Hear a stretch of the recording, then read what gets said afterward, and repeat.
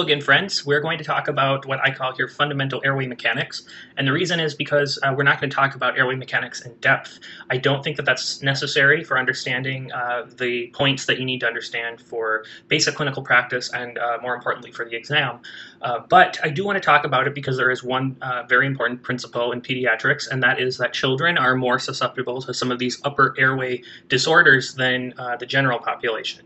And so, what I mean by upper airway disorders are namely croup, um, also uh, laryngitis, and um, and so the question then, why is that? Why are children more susceptible uh, to these disorders? And the fact is that they're not susceptible uh, to these disorders more because they are more susceptible to the pathogens. They're actually more susceptible to these disorders and more susceptible to having uh, more significant cases because of the fundamental differences in their airway structure compared to adults.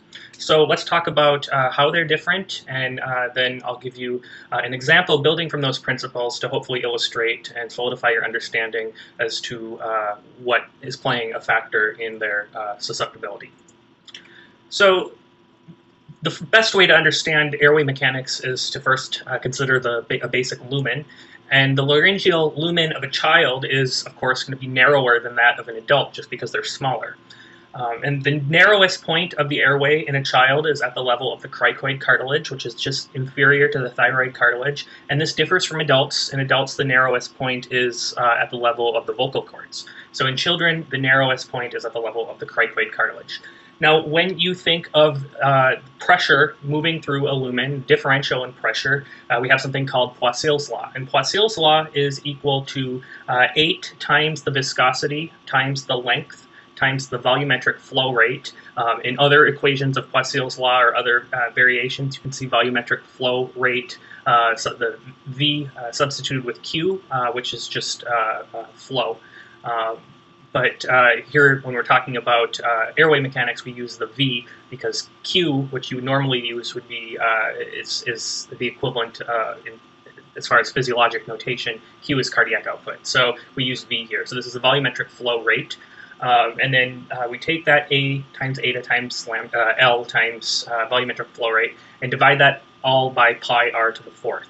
Uh, and this is our differential in pressure. Now, when we're talking about uh, when we're talking about airway mechanics, we're not so much concerned about the difference in pressure. Uh, we're, we're concerned about resistance because when the lumen gets narrowed, for instance, when there is edema or swelling of the airway, uh, it's the resistance that's going to resist air moving in and out of uh, the lungs uh, through the, the airways. And so we need to figure out how we can change this equation uh, such that uh, we have uh, an equation that tells us what our resistance is. And you can do that with just some fundamental physics and algebra. Okay, so before we talk about that, let's just get our anatomy under uh, consideration here. So the cricoid cartilage is just inferior to the thyroid cartilage. In between the thyroid cartilage, uh, which is uh, where your Adam's apple is, uh, the thyroid prominence, uh, is the uh, median cricothyroid ligament. And this happens to be where you will make your incision to do a cricothyroidotomy. The cricoid cartilage is the next prominent. So this is this is sort of a, little this is like a little depression point, and then the cricoid cartilage is another less prominent prominence um, that's just beneath the Adam's apple or the thyroid prominence. And this is the cricoid cartilage. And like I said, this is narrower um, in children. This is the narrowest point in children of the entire uh, trachea. So this is going to be the point of maximal resistance. Uh, now, in, uh, in adults, like I said, the narrowest point is at the vocal cords. The cricoid cartilage is the only concentric ring of cartilage in the entire trachea. And this is a good thing because when you are doing your cricothyroidotomy, it helps because you'll have a firm uh, area of resistance, so you know you're not going to uh, penetrate the trachea when you're uh, when you're when you're putting through your uh, your thyroidotomy, cricothyroidotomy. Okay, so that's enough anatomy for now. Um, again, here, this cricothyroid membrane, this is where you are going to do your cricothyroidotomy. It's pretty easy. You're going to make a one centimeter incision vertically, followed by a one centimeter incision horizontally, and then insert uh, your catheter from there, which is, should be attached to a uh, bag valve, uh, and then connected to the highest concentration of oxygen that you can get. And you'll verify your cricothyroidotomy by both looking at the, uh, at, at, which you should have equivalent uh, inflation of the lungs, and you can verify that through auscultation as well. Okay, so here's Poiseuille's law. We already talked about this. Uh, and so Poiseuille's law is the change in pressure equals 8 times the viscosity times the length times the volumetric flow rate, all divided by pi r to the fourth. And r is the radius of the lumen. So as the radius uh, goes down, the pressure goes up. That makes sense, right? So smaller airway, more pressure for an equivalent volumetric flow rate. Now we also happen to know that uh, that Q is equal to delta P over R, where Q is essentially the flow. So Q can be substituted with V. So now that we know that, we know that V is equal to delta P over R. You multiply R on both sides, you get V times R equals delta P. And if we want to substitute delta P in here, then we know that uh, or sorry, if we want to substitute r in here, then we know that r equals delta p over v. We just divide both sides by v. So we know r is delta p over v. So we um, now that we know that, um, we know that r is equal to delta p, uh, and delta p is our Poiseuille's equation, which is 8 times uh, eta times lambda, or L times volumetric flow rate, all divided by pi r to the fourth. And this is divided by uh, the volumetric flow rate. We're just taking this equation here and substituting in Poiseuille's equation for delta P. Okay, once you do that, your V is going to cancel out, and what you're left with is simply resistance equals 8 times the viscosity times the length, all over pi r to the fourth. So now that we know that, we know that our resistance is equal to 8 eta L over pi r to the fourth, um, then we know that assuming that everything else stays the same, and in a child, in disease, no matter what your conditions are, really your viscosity, your length are not a whole lot different. Not, not different enough to really impact uh, the resistance. And you're dealing with the same patient, whether they're diseased or not. So we know, anyway, that resistance is going to be proportional to the inverse of the radius to the fourth power. Uh, so the change in resistance, when you're talking about the change from a normal state to a diseased state, is going to be proportional to the inverse of the change of the radius to the fourth power. Okay, so the smaller the radius, or the, the smaller the radius gets, the more resistance you're going to have. Hopefully that makes sense, right? You encounter more resistance with a smaller lumen. And that's to the fourth power. So that's significant here because a smaller airway, if it's diseased and has edema, uh, the smaller your airway gets, the faster your resistance is going to go up.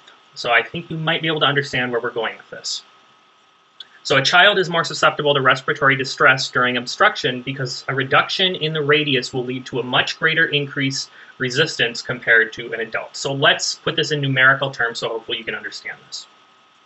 So here we have an adult, adult roughly average uh, average tracheal size. Uh, we're, I believe we're going to we're taking this at the same area. So uh, the narrowest area or the cricoid cartilage, uh, which uh, I'm not sure if I got this uh, from the, the, the radius at the uh, at the narrowest point in the adult or at the cricoid cartilage. Remember, the narrowest point in the adult is at the vocal cords, but it doesn't really matter here to illustrate our purposes. You know that the airway in an adult is going to be much bigger than a child. Uh, so we're taking roughly 10 millimeters, about a centimeter. That's the narrowest point in an adult. Uh, so 10, 10 millimeters. For a child, it's about 3 millimeters at the narrowest point at the uh, cricothyroid cartilage. Okay, so for an adult, let's say that you have a disease state. So you have one millimeter, roughly, we'll say one millimeter of, of, uh, of edema, uh, of swelling in uh, this narrowest point. So now your radius goes down to nine millimeters because you have one millimeter of obstruction. What you can do is determine the percentage uh, of resistance increase uh, based on Poiseuille's law uh, based on our equation that we came out with. So what we're doing here is we're not we're not necessarily using Poiseuille's law. We're just determining the percentage change. Because remember, we're assuming everything else stays the same, the viscosity, the length, and all that. So that doesn't really none of that really comes into play because the only thing that's really getting changed is the radius of the airway. So to determine the change, you just take uh, what you are now minus what you were divided by what you were. That's how you determine percent change. So we take 1 over 9 to the fourth minus 1 over 10 to the fourth, all over 1 over 10 to the fourth. That tells you your change in resistance. And the change in resistance for 1 millimeter of change uh, of decrease in radius uh, from a 10 millimeter to a 9 millimeter radius is 52.4% increase in resistance. Okay, so keep that in mind. We'll keep that up here. Now, for a child, if you have one millimeter of increase or decreased radius, you go from three millimeters to two millimeters. Then the same uh, the, the, same change, uh, the same decrease in radius is going to give you 1 over 2 to the fourth minus 1 over 3 to the fourth all over 1 over 3 to the fourth. And if you do the math, that's a 408.1% increase in resistance. So one millimeter of edema in a child is going to give you almost eight times the resistance increase as what you would have in an adult. Now, you could change this and say, well, maybe a child might only have half a millimeter in, in edema, so half a millimeter of decreased radius. You would still wind up with a 300%, 200, 300% uh, decrease, or sorry, increase in resistance. So it doesn't really matter. What, what matters here is that the uh, one millimeter of, of decrease in radius is going to lead to a much greater increase in resistance if you have a smaller lumen.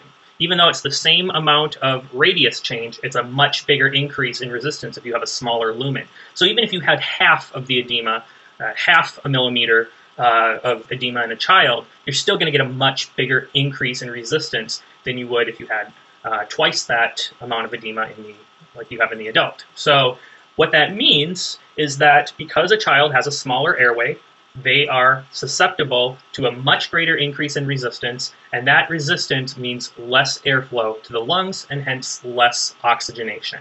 And that is why children are at increased risk for, for comorbidities, for respiratory distress, and indeed for death when they have the same disease process as an adult. It is not because of increased susceptibility necessarily to these pathogens, it is because of a difference in their airway mechanics and their anatomy.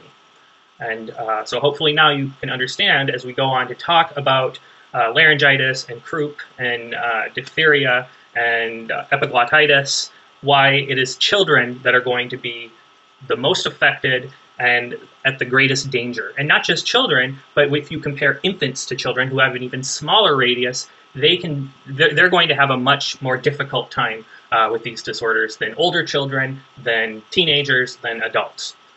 All right, so if you have any questions, go ahead and write me a note below.